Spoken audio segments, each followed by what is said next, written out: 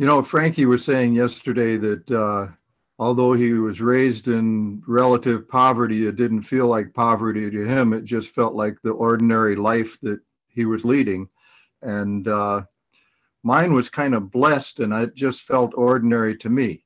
Um, when I was uh, uh, in kindergarten, my dad became an elementary school principal. And while he was doing that, he wrote a whole bunch of social studies books. And I really wasn't aware of the fact that he was doing this after school and at night and on weekends. But when I was in middle school, uh, the book started coming out. And this is Dad's world history book or his American history book. And uh, it's Laidlaw's social studies series. He did grades one through 12 for social studies and did three series of that. And then he started doing handwriting books, Palmer Method handwriting books, and renewed that. That was kindergarten through eighth grade. Altogether, counting teachers' editions and updates for fresh copyrights, Dad wrote 192 school textbooks. Ooh. When he, when I was in seventh grade, we moved to Rochester, Minnesota, where he became the curriculum director of the school system, and begin uh, uh, a new adventure in my life. And you know, it just seemed like ordinary kids. But I remember when I was in when I was in tenth grade, the teacher said, "You may want to be, you might be interested in how the average John Marshall student did in these Iowa tests." here's how we did in math and reading and all put it, and i just wrote it all down and made a little line and later i looked at it uh, years later the average iowa test score in our high school was 95% that's what the students were doing. And the the president the, the president of our science club invented the spell checker. And you remember how you used to put new programs in computers and have to type type something to get it to start up. Ken was the first one to invent a computer program where you didn't have to type anything; you just stuck it in the machine. And uh, I don't even know what a local access network is, LAN, but he invented that too. and uh, just ordinary kids did things like, you know, be the head of Kodak Color for Southern California and put the color in all the movies, and vice president of uh, market sales and marketing for Sealy Sealy Mattress Company. And uh, one of the guys is the chairman emeritus of the psych and psychology department at the Mayo Clinic. You know, guy just did amazing stuff, but they were just to me, they were just to us, we were all just kids. Uh, so I came through that and went to Macalester College briefly, and then switched to St. Cloud State College, thinking I'd have a better chance of getting a, a teaching certificate and at St. Cloud State, it was the first time I had ever been a, a, a student among kids who just weren't very bright. Uh, I used to say anybody with a GED and a pulse was welcome. And uh, I started getting the best grades I'd ever gotten in my life without studying. And so the Vietnam War was starting, so I studied that.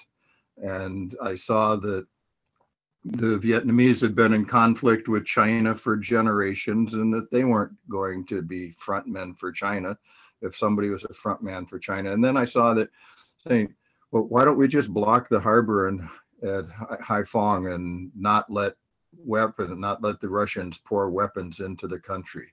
Uh, why don't we fight in the whole country instead of just half the country? Why do we leave half the country where they can go rest? uh, it just didn't make any sense. It didn't look like we were really had a strategy to win. And I was the first kid in Minnesota to protest against the war. And then a thing came up where we uh, protested against women's dormitory hours, and we were the first college in the country to abolish women's dormitory hours. And at the time, it seemed like an accomplishment, but it really was a t- disaster because this little hick college that nobody had ever heard of before suddenly was one of the top 10 playboy party schools in the country and i'm sure a lot of lives got messed up by what we did uh, as i looking back on it it just it seemed like it was fair but uh, not having women's dormitory hours exposed a lot of young ladies to pressures that they wouldn't have had if they'd had to say i have to be back in the dorm at one o'clock or midnight or whenever. Uh, so then uh, I taught third grade for a year and went to, and they tried to draft me. I said, no, I'm not going. Uh, thought about going to prison. Uh, my now ex-wife uh, didn't want that, so we went to Canada. And my second day in Canada, I went to hear Pierre Trudeau speak. And he said that his time as Prime Minister of Canada would turn the world irrevocably in the direction of a cashless economy. I had no idea what a cashless economy was. I thought, is everything going to be free? Is it some kind of socialism? What the heck is a cashless economy? Uh, but that phrase stayed in my mind. And uh, seven years later, after the whole Rochdale adventure was over, uh, I walked into a bank and saw my first ATM machine. And I realized what it was going to be. And that night I had a dream that I was talking on a payphone and suddenly I was surrounded, the phone booth was surrounded by guys in uniform who tracked me down because the World Computer System had told them that the guy they were looking for was in that phone booth. He just paid for a call. And so the next morning I got up and began advising hippies to go back to the land and get their grow their own food, get their energy from the wind and the sun and the running water and get in a position where they could live without whatever the world was going to be calling money on down the line when it all became cashless. And uh, as I was doing that, I met an old German guy named Paul who uh, had similar ideas. And we began every night we'd look through the newspaper looking for little incremental moves forward towards the new world order and the cashless economy. And one, oh, by the way, at the at this point in my life, I'm looking like this. And this is this is a picture of me addressing a general meeting of Rochdale College. And uh, this is what we can see it here. This is what a general meeting of Rochdale College would have looked like. So the the crowd that I'm addressing and the, from the microphone here looks kind of like that. And uh, then, uh, but my friend said, look, uh, oh, the new Toronto phone books came out. And on the cover of the new Toronto phone book was the logo of the Montreal Olympics. And he said, look, they put the number 666 in the logo of the Montreal Olympics. And I said, well, what's that? He said, well, the Bible says that number will be associated with this cashless economy and New World Order that we've been studying all the time. I said, you're kidding. There's something about this in the Bible. And by then, we'd all been thrown out of Rochdale, and I was sleeping on the couch of somebody who had a Bible.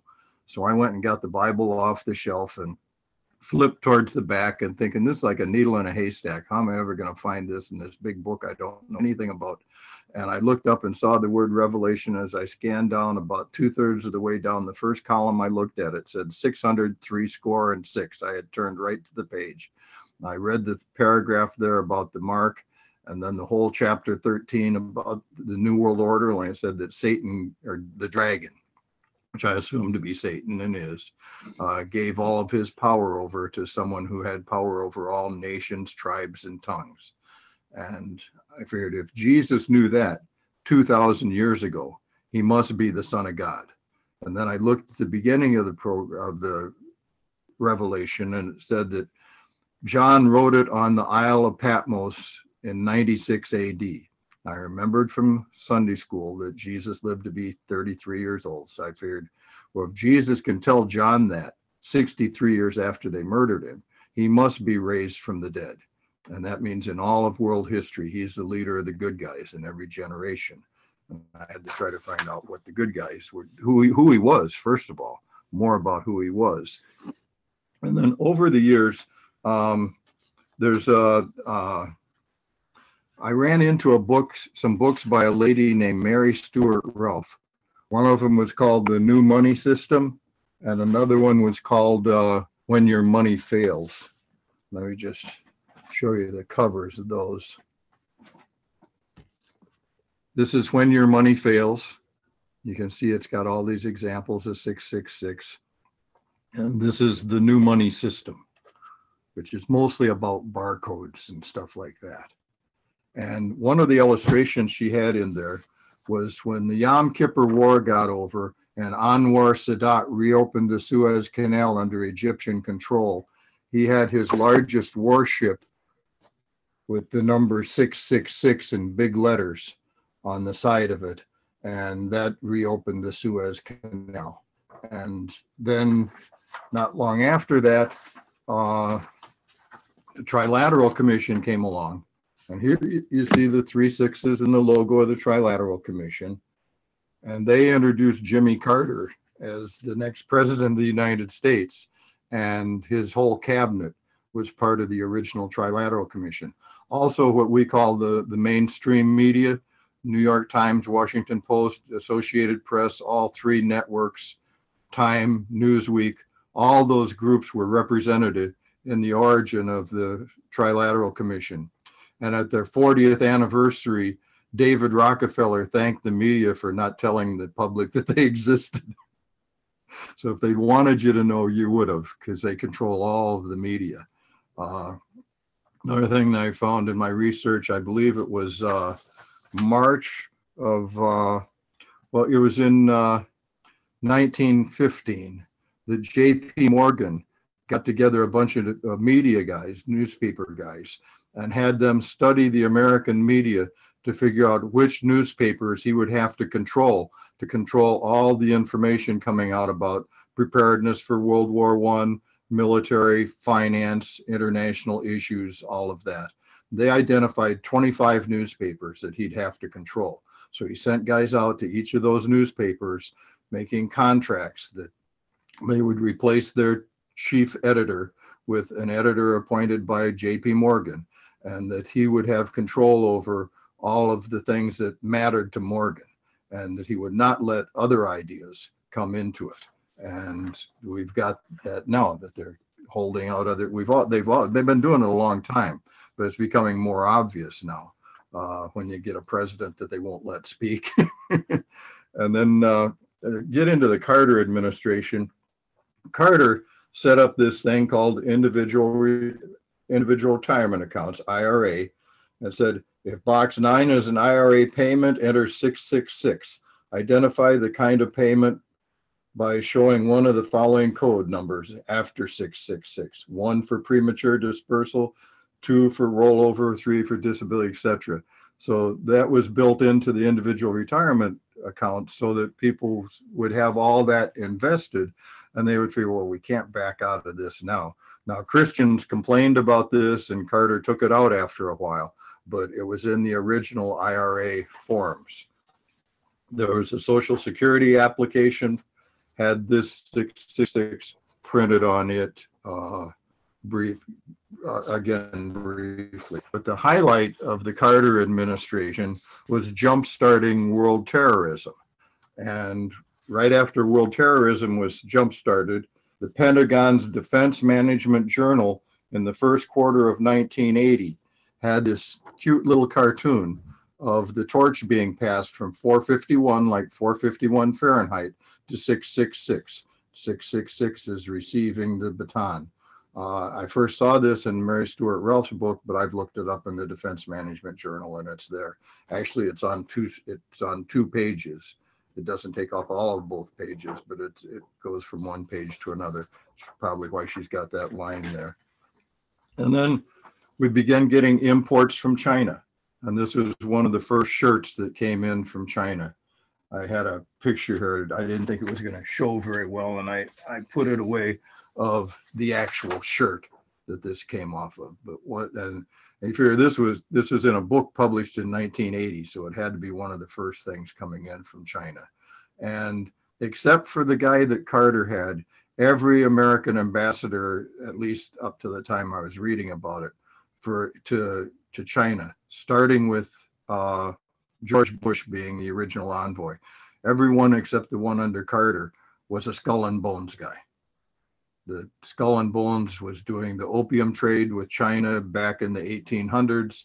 And uh, I was wondering about, you know, there's this uh, Dick Cheney's daughter is leading all this anti-Trump campaign. And I began wondering on, and also Dick Cheney was kind of the father over the, as vice president, sort of guiding George Jr. and how how to run it. I was wondering if Dick Cheney was a member of Skull and Bones. You know, Skull and Bones Uh, I saw Dick Cheney was not a member of Skull and Bones, but 10 people named Cheney were Skull and Bones, mostly back in the late 1800s, early 1900s.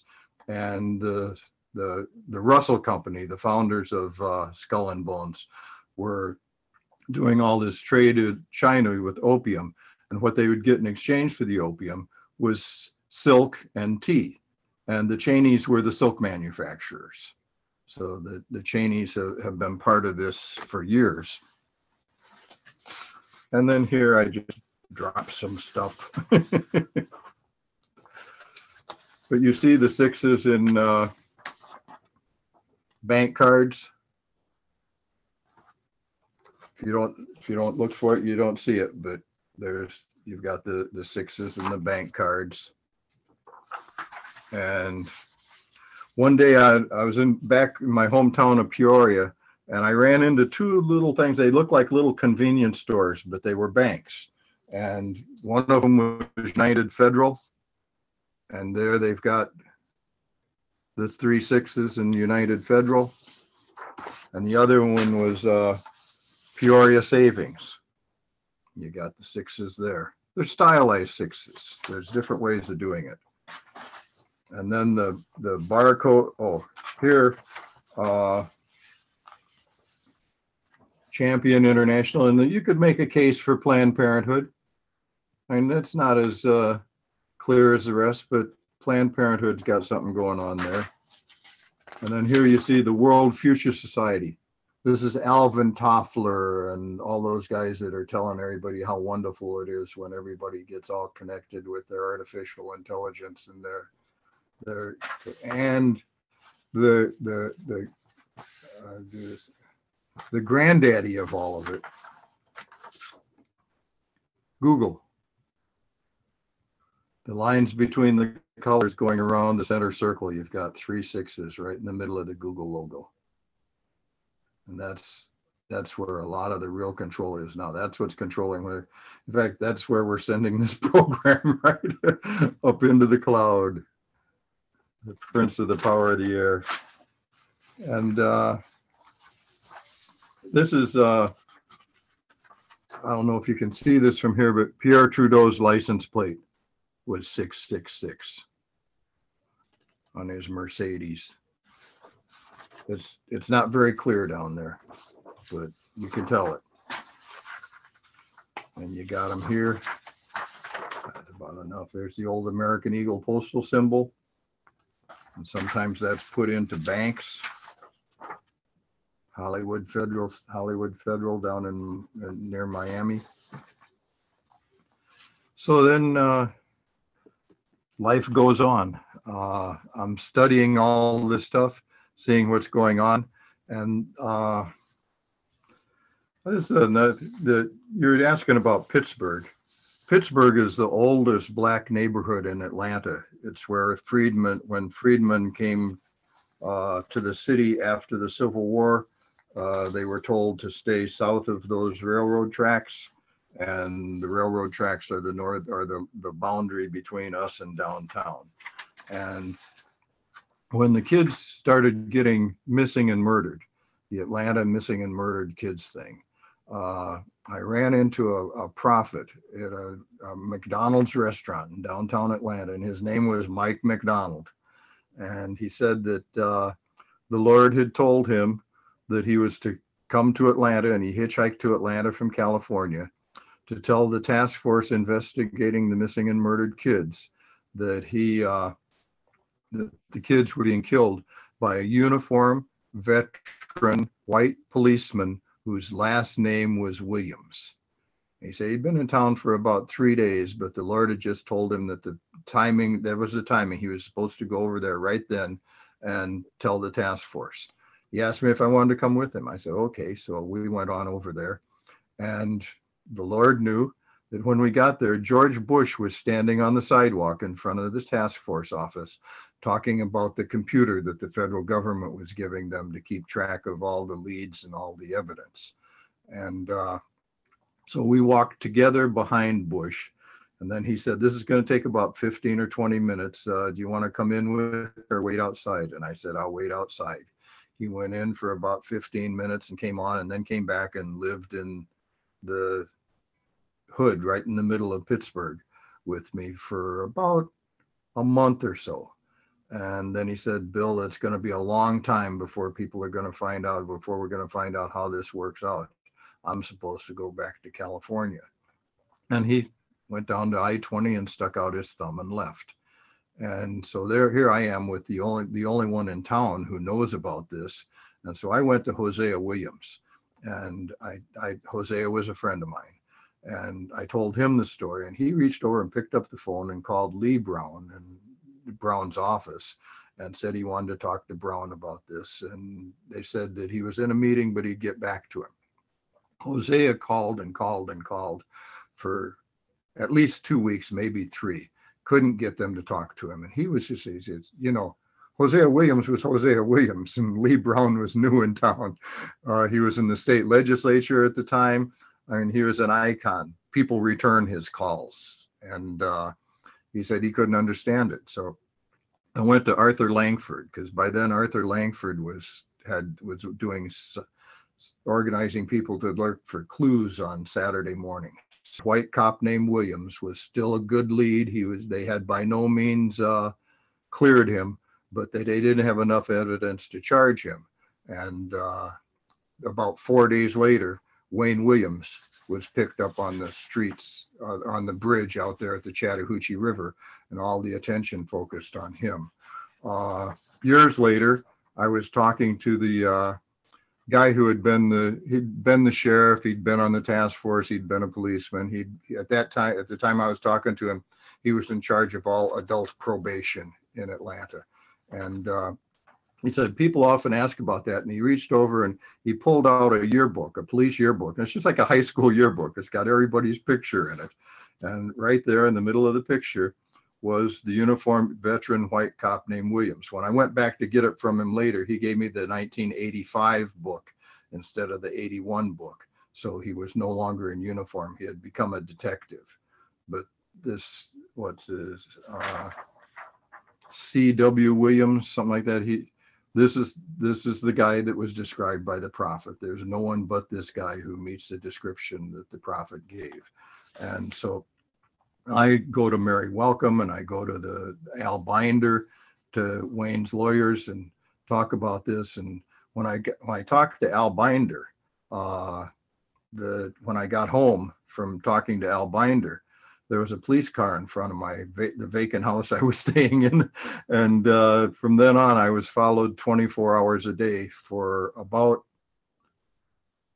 two months maybe uh, by a combination of uniform cops in cars, unmarked cars with white guys in them that either some were cops, but some were not. Some were probably Klansmen. Uh, when, and uh, there was this guy that I, I met later that I was, I was helping. He, he had become homeless, but he had been a policeman at that time. And uh, he said, those guys wanted to kill you so bad they could taste it. He said they all they talked about was how badly they wanted to kill you, but they felt like they couldn't. And I said, well, I know the, the reason they couldn't is because God was protecting me. But I bet the reason that they gave to each other of why they couldn't kill me was because they didn't know who I was and they didn't know where I came from and they didn't know who'd come looking for me if I died. He said, that's exactly right. They were afraid that if the, the you know you obviously had a northern accent you know your dad might send private investigators down here to find out what happened to his son and the whole thing would blow up and they wouldn't have any control of that. And they were just afraid of who might come looking for you if they killed you. And that's the only reason they didn't and uh, so that's uh, that part of the story uh, another part of the story uh, uh, Jerry Lucas and Theomatics. Uh, if you're following anything on Trinity Broadcasting, they got this rabbi now who's talking a lot about the numerical values of various words in the Old Testament.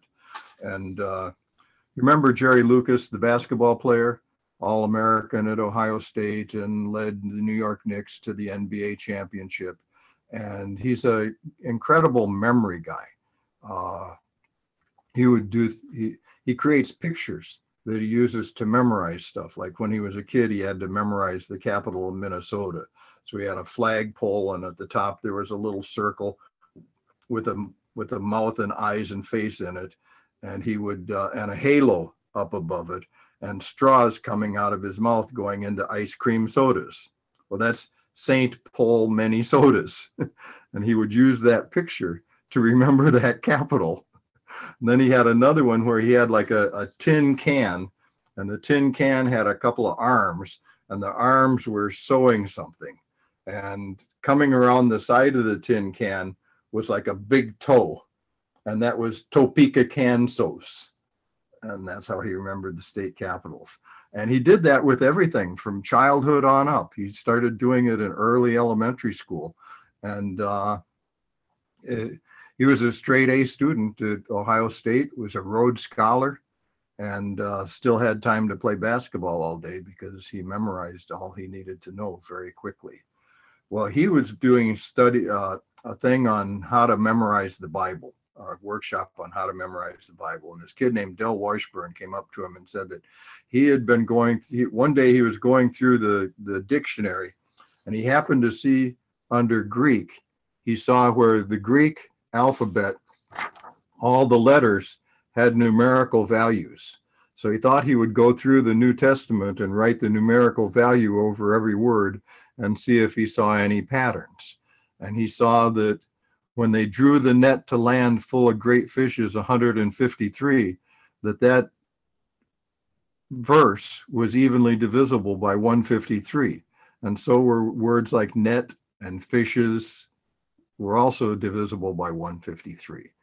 And then he saw that the word Jesus was 888. And phrases about Jesus like behold, a virgin shall conceive a son and bear a son, and his name shall be called Emmanuel, were also evenly divisible by 111. And this child was evenly divisible by 111. And so he and uh, uh, uh, Lucas got to get, you figure with Lucas memory, having memorized the Bible. And then here you see over here, you see the same thing for Hebrew. Hebrew only goes up to 400 because it's got four less letters the Greek goes up to 800. Omega is 800. And uh, so after they did the first, uh, oh, 30 some things with Jesus, they took it to a statistics professor and asked him what were the odds of that. And he said, if you put dots this far apart and cover 200,000 Earth surfaces with them, one dot would be the chance that all of those that that those 32 things would turn out to all be evenly divisible by 111 and of course he's got a whole book full of those things. Uh i had his book right here. Yeah. This is the theomatics book and it's still available. It's got chapters on, and the chapter on the church is 144. And there's a word, there's a number that's like for liar and deceiver and fire and hell and all that. And it's 276, the number of people that were on the ship that sank with Paul on it on the way to Rome. Uh, here's just one one of one of his memory things. Here you see it's Christmas time and the Spirit is getting gifts. These are the gifts of the Spirit the wisdom tooth, knowledge, where someone took a bite out of the, the ledge there, face for faith, healing, miracles, prophecy. This is a, a little ocean propped up, and then a little hose coming out of that distinguishing of spirits. The dish is extinguishing the distinguishing the spirits.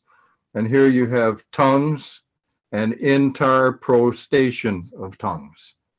And that's the way he fits some of these things together.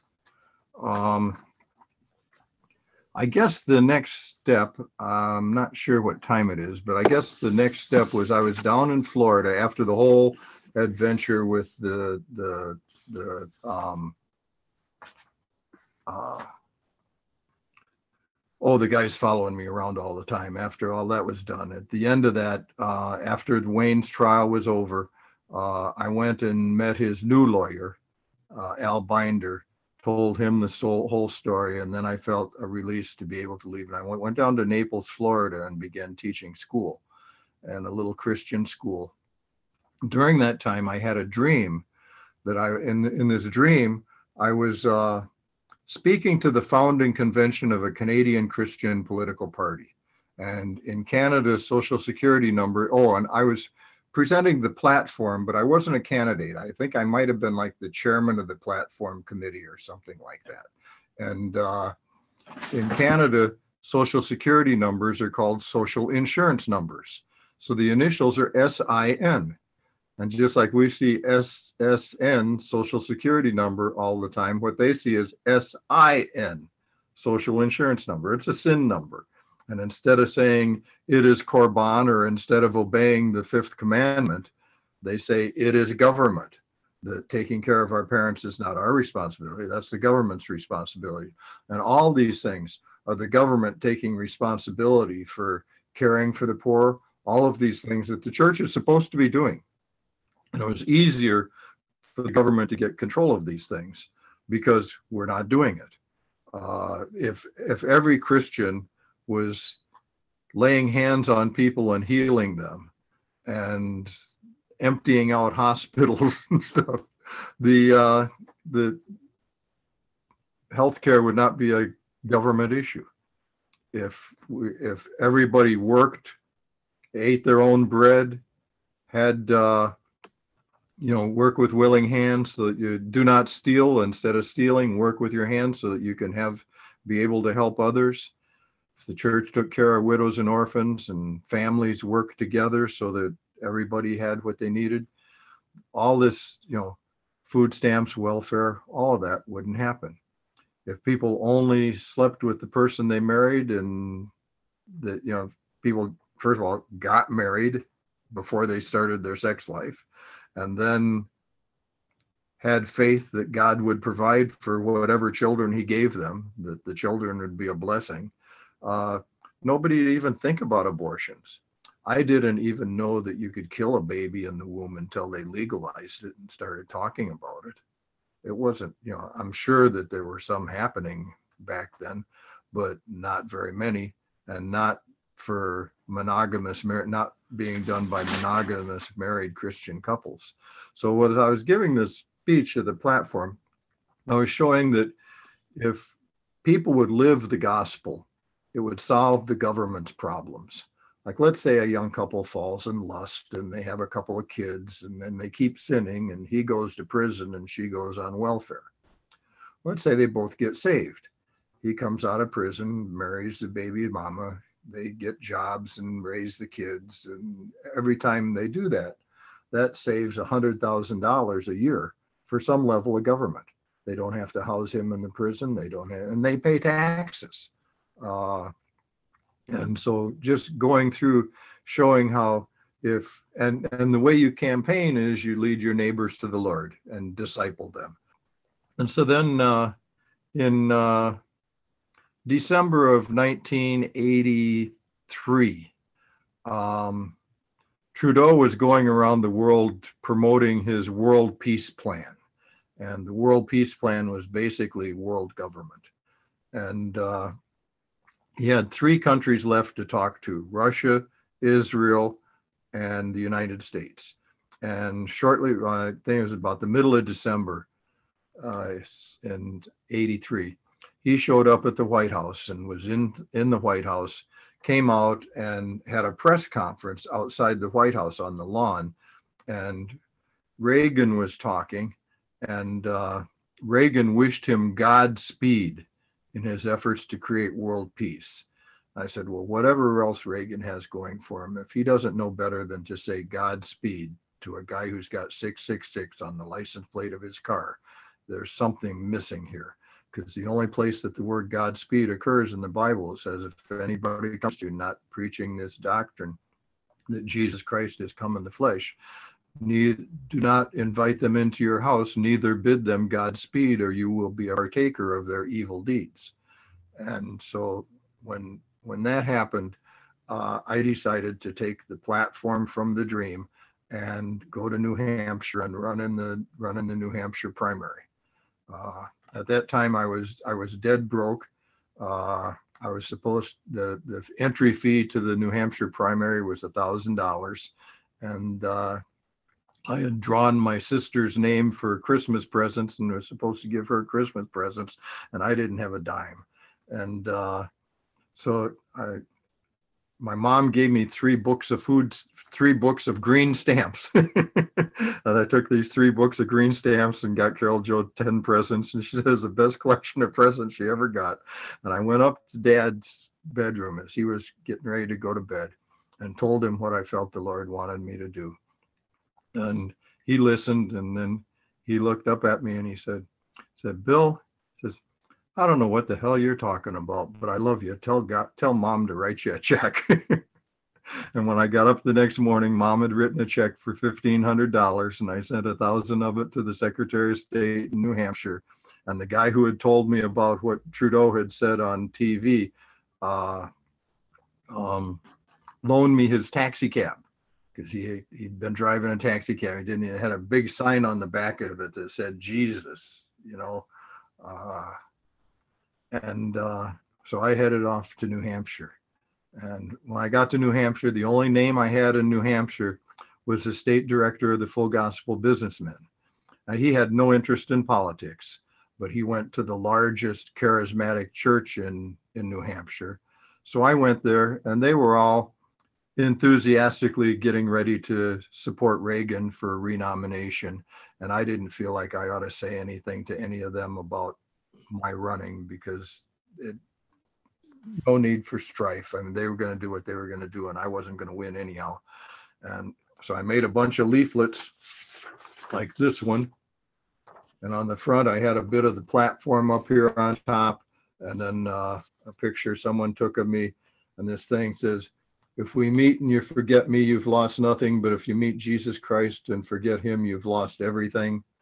Uh, down here, uh, picture of Jesus in the clouds from a from a uh, was it Osborne book.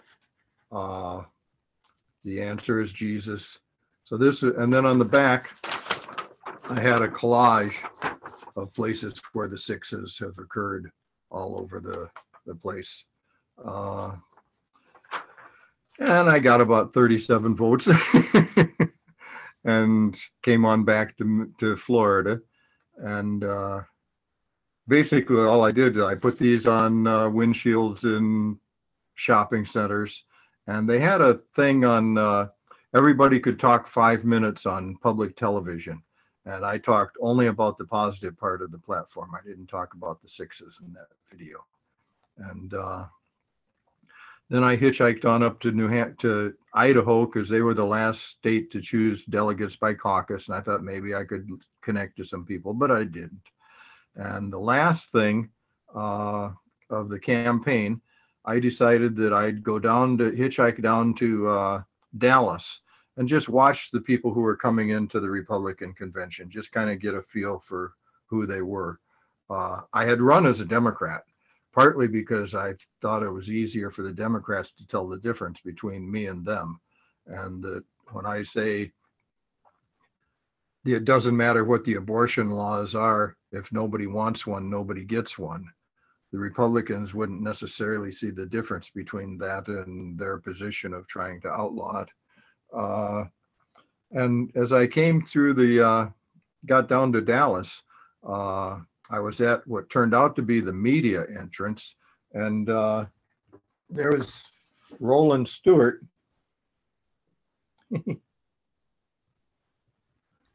with this on, looking for the part.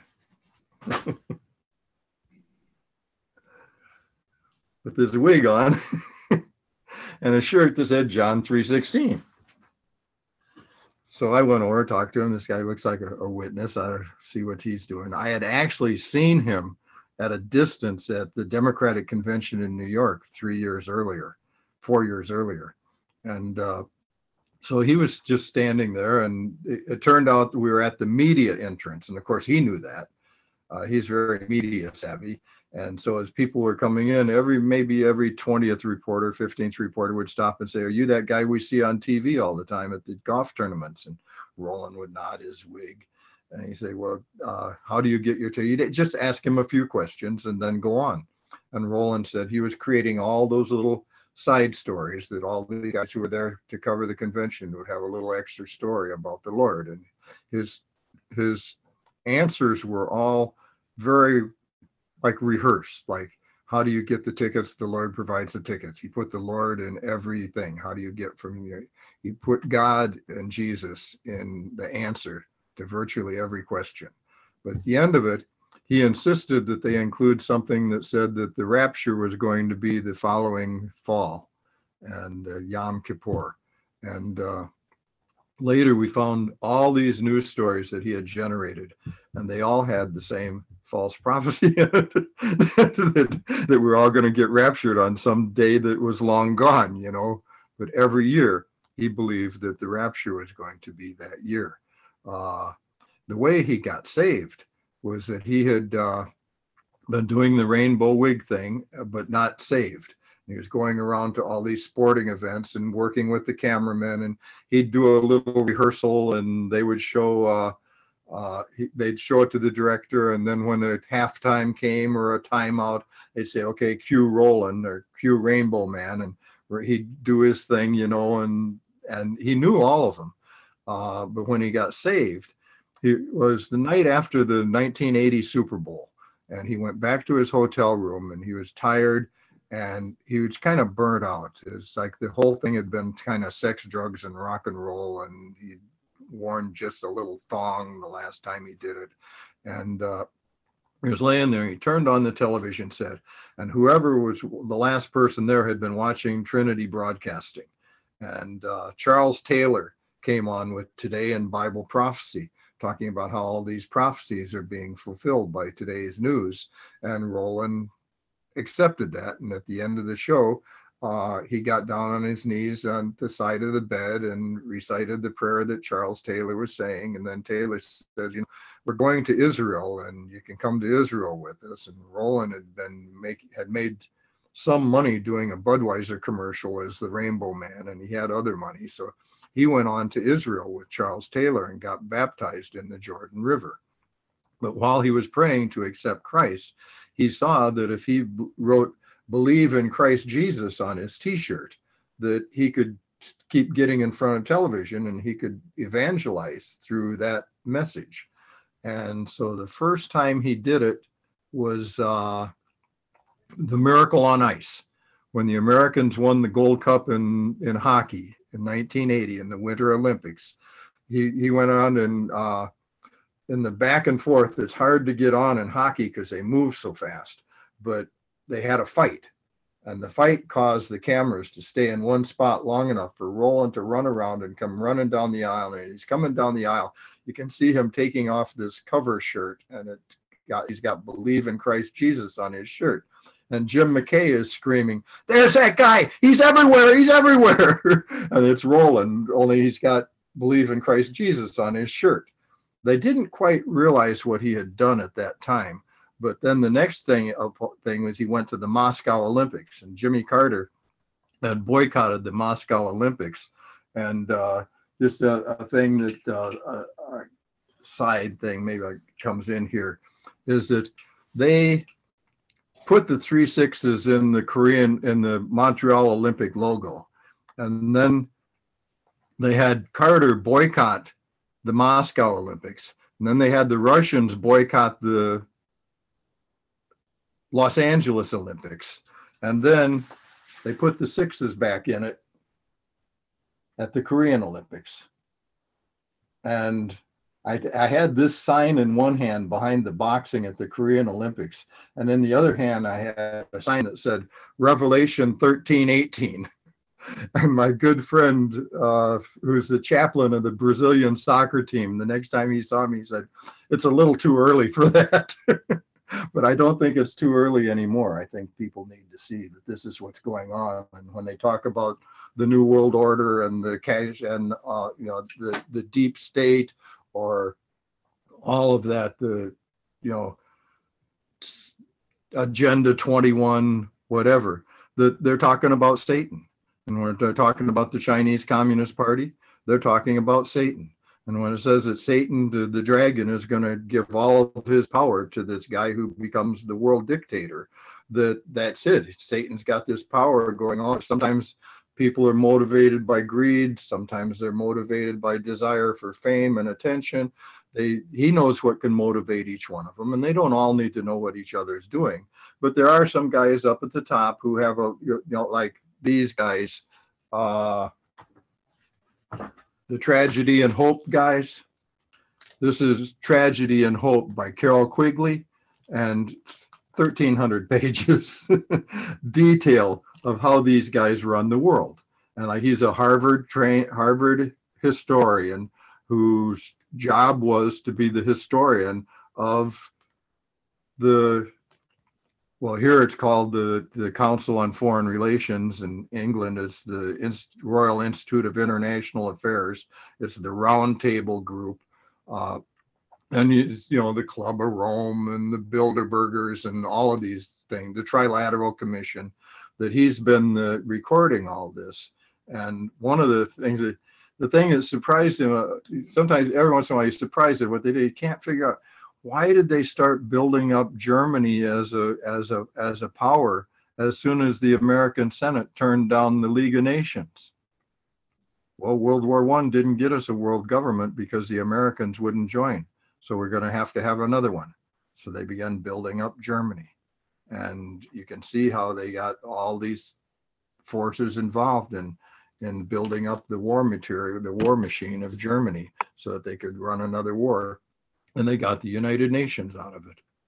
And after the United Nations, then they said, well, and after they managed to get the the the uh, atomic bomb to the Russians, then they said, well, both sides have got the atomic bomb.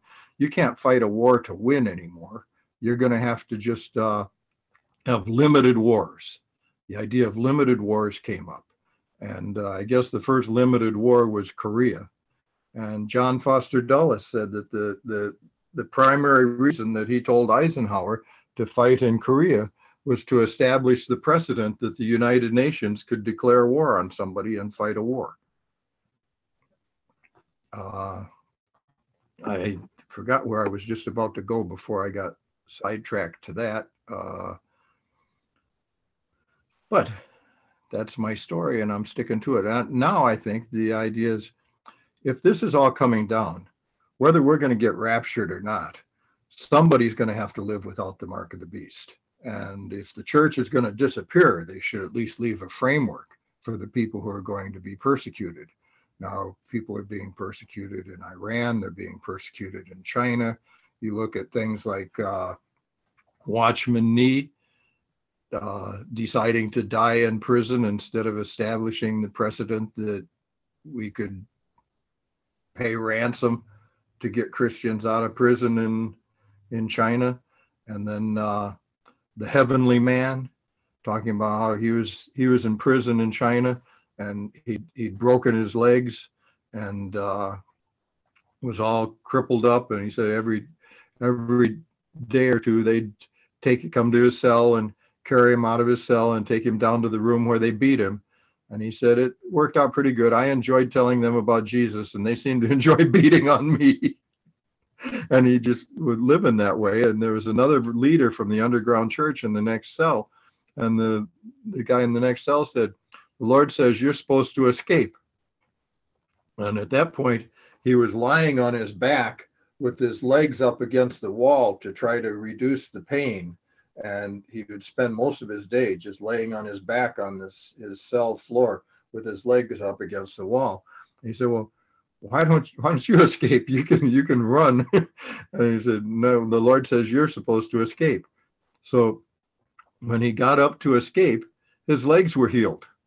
And he began walking out. And as he came to the first gate, these two guards were talking to each other and they were in an animated conversation. And the gate was open just a few inches. And he just slid right on through and went up and he went through three different gates where the the the guards were distracted and the gate was ajar and he went right on through. He walked right out the front door of the prison and there was a taxi cab waiting for him with his wife and kids in it. and the guy who told him to escape watched him to get in the taxi cab and leave. And uh, he was leaving, and then he got some fake ID he was using to try to fly out of the country. And before he flew out of the country, the, the Lord said, When you get to the airport, don't say a word, no matter what, just, just let them just talk about your. And so they spent about 15 minutes, the different officials, talking about his identification. But finally, they let him go through and he got out. And later, he was in Scandinavia, in Switzerland, Sweden, somewhere there.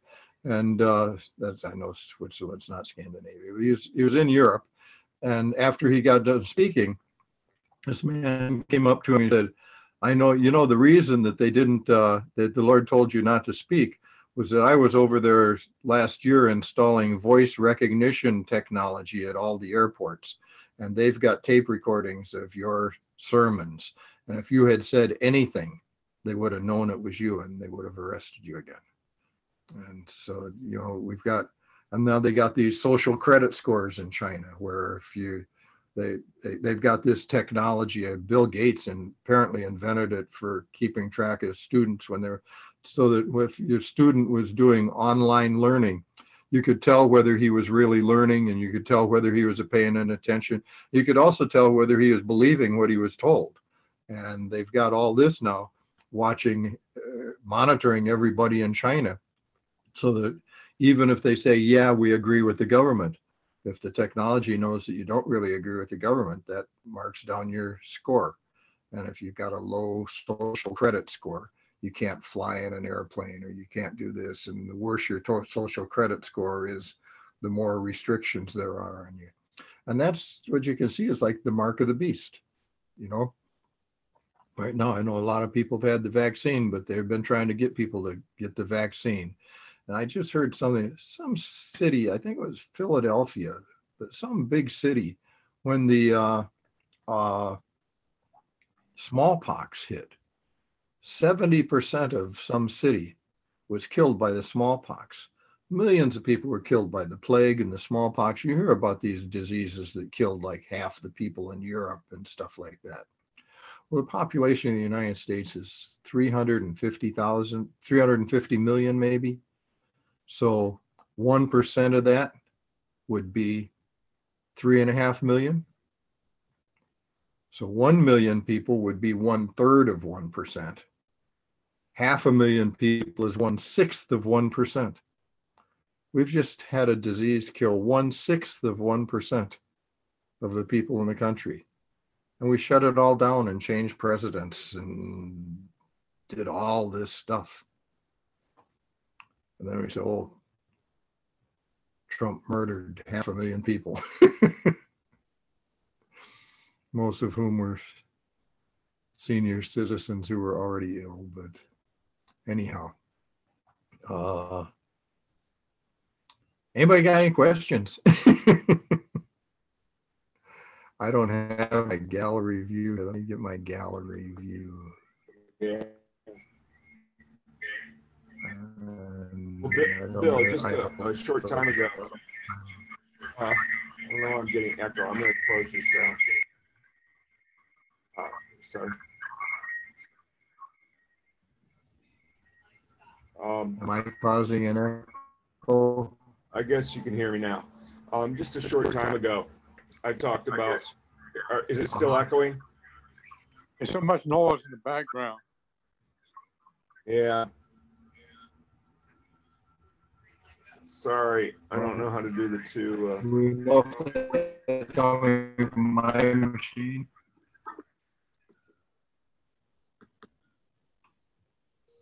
Well.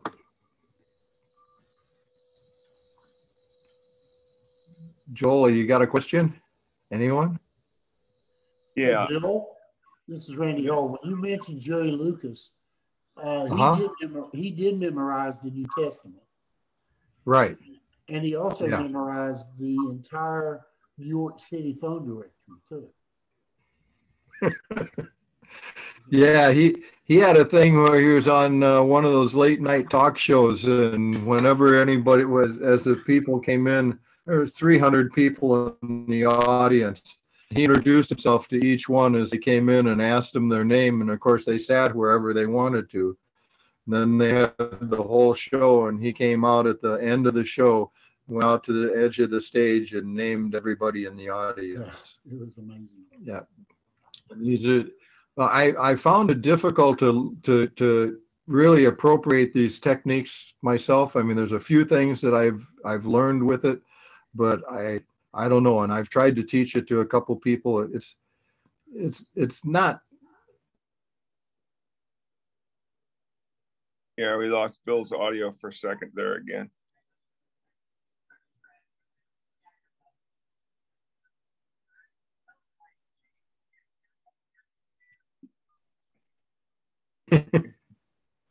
Yeah, Bill, we lost your, we lost your audio for a second there.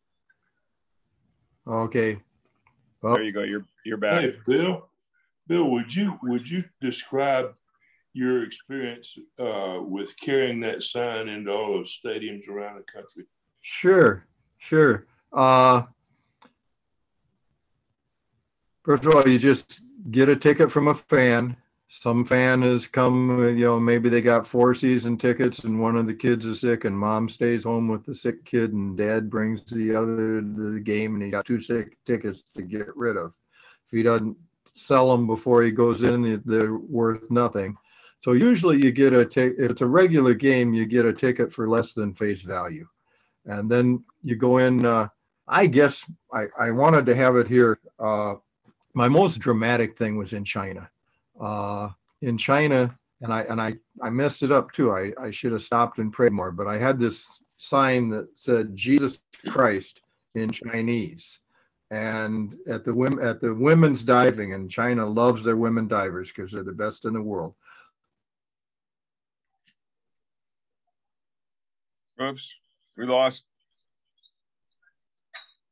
Did we lose him again? Yeah. It's frozen.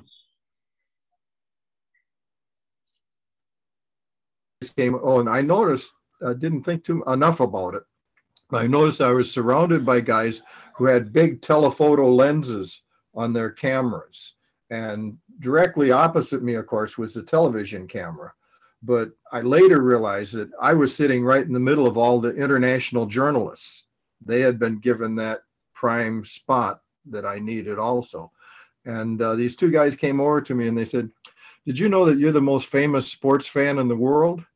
I said, I said, I didn't even know I was a sports fan.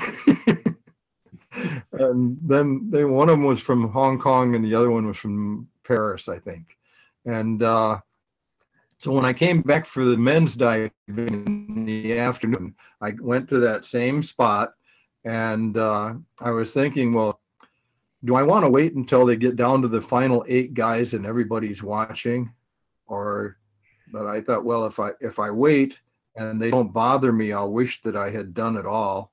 And without thinking and praying enough, I pulled out my sign and suddenly here's a dozen guys in uniforms coming up the aisle to to get me.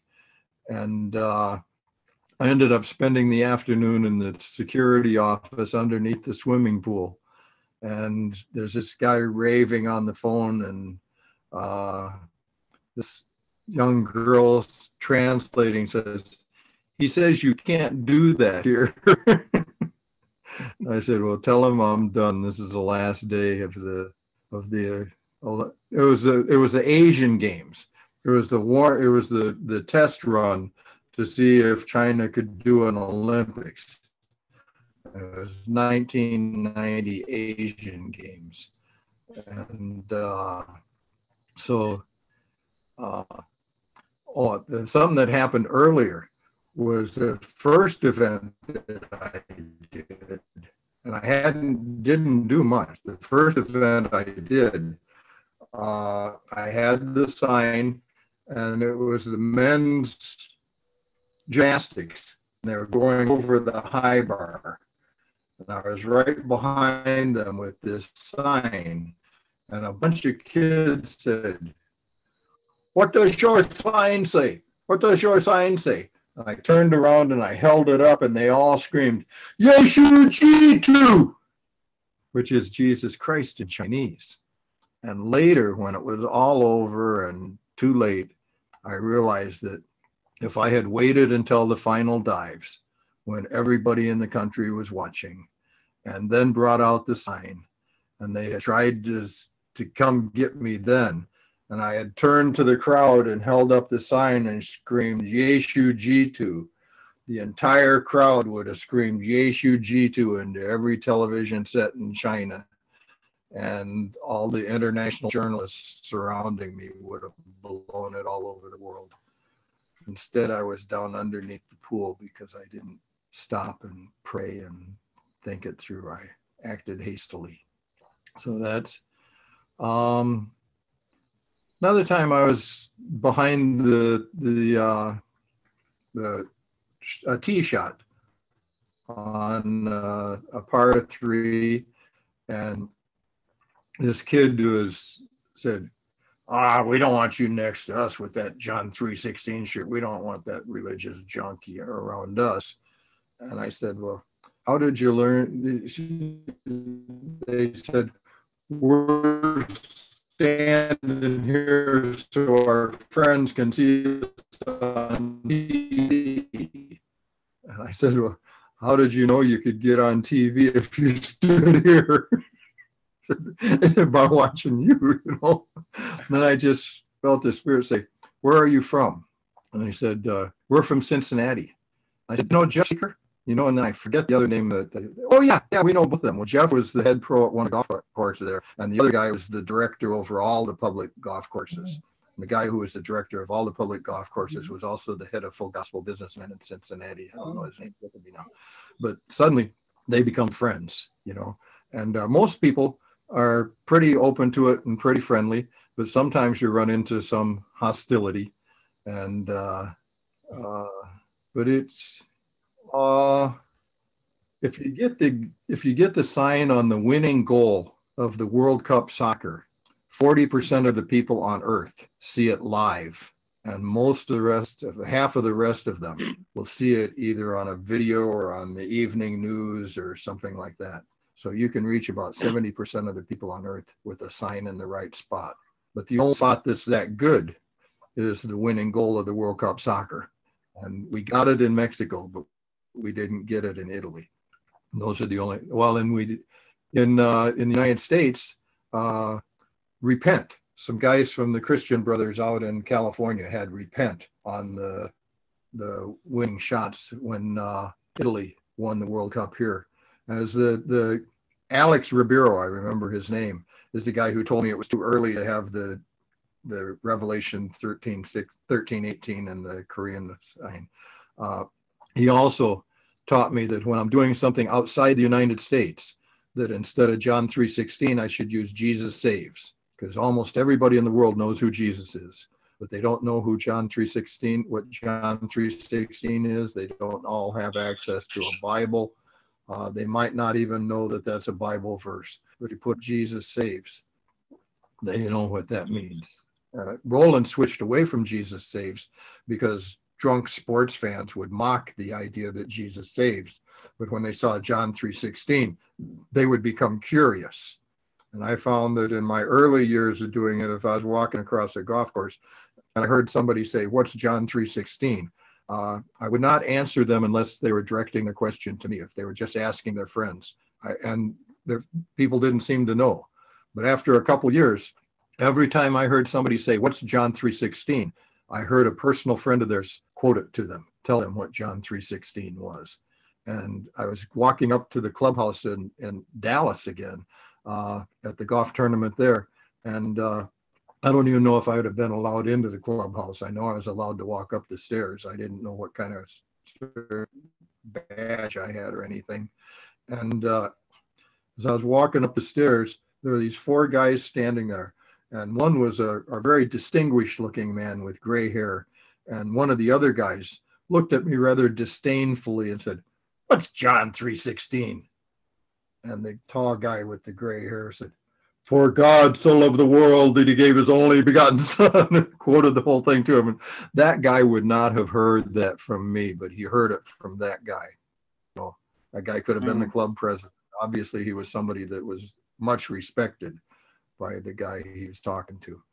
And so those are are some things. The first year that I did it, uh, I hitchhiked about 30 or 35,000 miles and got signs on 77 network television programs. Slept outdoors more than half the time. Had less than $3,500 pass through my hands, but did not lose any weight. and that that was maybe my most anointed year of my life was 1985 doing that. Later on, I had a vehicle to to drive and sleep in, and that was good too. I was, but for that first year and a half, I hitchhiked everywhere. Wow. Bill, I, I won't, I'll never forget the testimony of the man who came in to speak to one of Wednesday Warriors. Oh, and yeah. in his testimony, he, he said that your son he'd seen on some football game, I think, and uh, he received Jesus as a result of that. Yeah, that was a congressman from Athens. Right. Broun or something like that. Yeah. Yeah. And actually, as I heard his story, I knew that that wasn't personally my sign. I knew from his description that it was Rollen's sign, uh, oh. but it's still the ministry. Yeah. Yeah. yeah.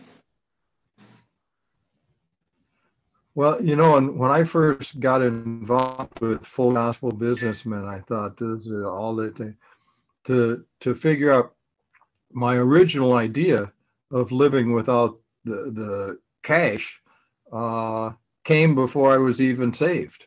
The idea of rural now I would know rural Christian community growing their own food and living sort of a subsistence, uh, but growing everything that they needed and uh, in farming, there's a lot of work, but there's also spare time when you can be Bible studies and all this, or when you can be led by the Spirit to go plant, you know, strawberry patch or blueberries or stuff, so that everything like the guy who really taught us how to do it was George Washington Carver. George Washington Carver was teaching second generation freedmen who learned how to read and come to college how to go home and acquire five or 10 acres of land and get everything they needed off of that five or 10 acres of land. And then they were, at first, they had cotton as their uh, cash crop. And then he saw that cotton was depleting the soil, but the peanuts would get the nitrogen from the air and put it back in the soil so that you could rotate peanuts and cotton. And you know, I Carver is one of my all-time favorite people. I visited his museum at Tuskegee, and uh, when he told everybody to plant cotton, nobody had ever or plant peanuts. Nobody had ever heard of it, and suddenly everybody's got a barn full of peanuts, and uh, you can only stuff so many into the kids. There's no market for it, and it was the only time in his life that he ever had friends angry with him. And he'd get up every morning right before the sun and watch the sun come up and the dew evaporate and the forest wake up. And his day he was sitting on a log and he said, God, why did you make the universe anyhow? And the Lord said, You asked too big a question for your little mind. He said, Why did you make man? and he said, Your question is still too big and your intent is not correct. And he said, Why did you pick why did you make the peanut? The Lord said, Now you're talking. Pick up all you can t- carry and take them into your laboratory and take them apart, and I'll show you. So, first he took them apart like out of the shell, but then he took them apart like water and peanut oil and amino acids and different components that a chemist could get out of a peanut. Then the Lord said, Mix them together at different temperatures and different pressures and see what you get. So he'd mix two parts of this. So he just that's how he invented all those made all those things out of peanuts he made plastic bricks peanut butter 300 different things and then there was a market for peanuts and his friends weren't mad at him anymore they could just get all the peanuts out of the barn and go sell them did he do something but, for polio what Did he do something for polio? For what? Yeah, no. Oh, yeah. He, he, he recommended massages with peanut oil for, for polio. And apparently it was working, it was working well. And, uh, and that was before there was a, way before there was, a, he died before there was a polio vaccine. So I guess in his lifetime, the best thing for, uh, polio was massages with peanut oil. Uh, Wow. Roger Bannister had something that I don't know if it was polio or what it was, but his family massaged his legs all the time. And he ended up running the first four minute mile. So, Powerful stuff. Powerful stuff. oh, and I was seeing this, uh, I'm just looking over here, a couple other things that I had set out here. Uh, this unauthorized biography of George Bush. It's really good, really detailed, you know, 650 pages with lots of footnotes of mostly almost more about Prescott Bush than about George, about where the family's fortune came from and the connections to the Harrimans and the Skull and Bones and all that. And it was done by people who were followers of a guy named Lyndon LaRouche. Hmm. And most people have never heard of Lyndon LaRouche, but he ran for president five times. And one of them, while I was up in New Hampshire, I saw some of his literature. It was long and complicated and detailed, but it was full of all this information about people. And then uh, Lyndon LaRouche ended up being Jim Bakker cellmate. Wow. That's phenomenal. You know, we see God orchestrating, we see God working, and I, I just um, want to reiterate the confirmation of I think two or three weeks ago I mentioned that God had shown encyclopedic this guy's how encyclopedic this guy's knowledge was. He said, as I laid on my bunk below Lyndon's, I would open my Bible dictionary or some other theological book and pick out the most remote word or subject I could find, something I knew little about. Then I would call up say, Lyndon, tell me about this. Lyndon would launch into an explanation of the subject that often matched the material in the book almost word for word. And they said he was like that about all kind and and he'd get these reports from his people at six o'clock every morning before everyone else woke up and he'd know what was going to happen in iraq or desert storm was going on at that time. He'd say this is what's going to happen and then two or three days later it would. Uh, interesting. And then phil haney's book is out again. It's out paperback now. So it's been reprinted in paperback. The book he was working on when they killed him uh, did not get published. Uh, I'm trying to communicate with the people who got this to come out as a paperback and who uh, would know about the the the new book was called uh, National Security Meltdown, and it was about how the guys were the unindicted conspirators in the Holy Land Foundation trial in 2008 uh, should have been put on trial. And instead, they were invited into the government as consultants on how to talk to Muslims. And now they're full time in the government. They're, they're, they are the government. and that, that's why the whole homeland security is more focused on white nationalists than they are on uh, on Islamic Jihad. And Phil said all that was going to happen. That they were first they were going to fo- switch the focus to white nationalists, and then they were going to say that that was all Trump, and then they were going to say anybody who supported Trump was a white nationalist, and then go on from there. And it's pretty much happened. And there's this thing, I always common wisdom or something like that that the Muslims are putting out that's being bought into by the Pope and a lot of Christians and a lot of all religions. They're working on, they're working real diligently on creating the new world religion. It's a combination of New Age, Islam, and nominal Christianity.